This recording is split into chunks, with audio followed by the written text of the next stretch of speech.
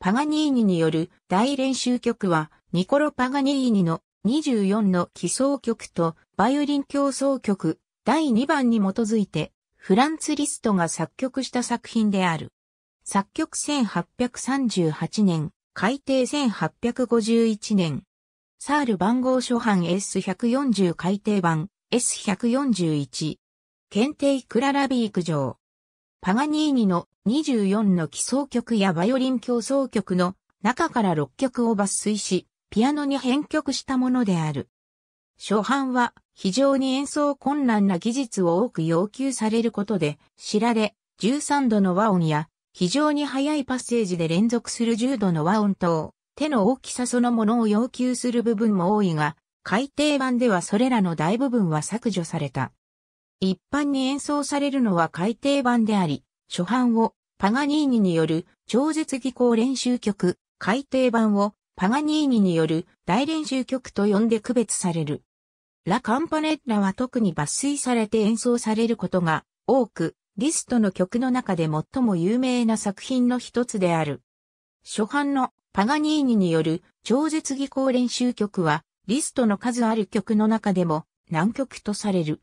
CD 時代に入ると録音は複数存在するほか、大井和夫と金沢治がこの曲集を演奏した。改訂版との違いは、第3番と第4番で顕著である。第3番は、主題の取り入れ方、曲の進行が全く違っている。まず、改訂版の特徴である右手の大きな跳躍が前半にはない。また、左手には手の大きさが要求される和音が繰り返し登場する。後半では改訂版には見られないバイオリン競争曲、第1番の主題が変異長調で現れ、曲の表紙が8分の6拍子から4分の4拍子に変化し、曲の終盤まで連打と跳躍のテクニックが様々な形で両手について要求されるようになる。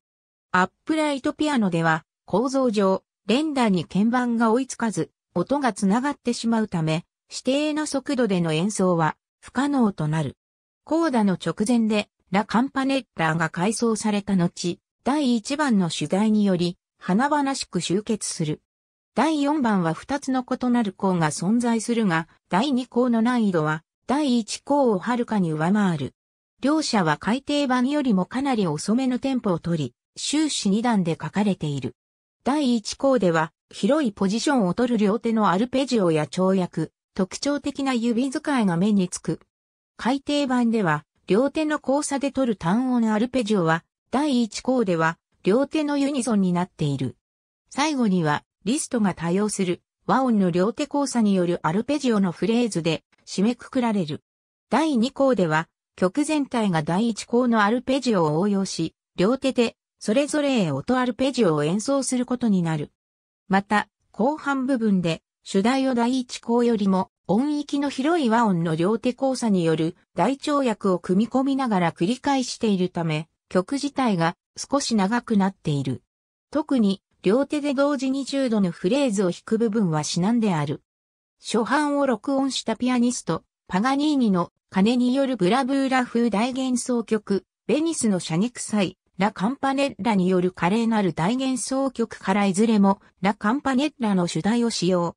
両作品ともパガニーニによる大練習曲以前に作られたもので、前者はリストがカンパネラの主題を用いた最初の作品である。共に異端調。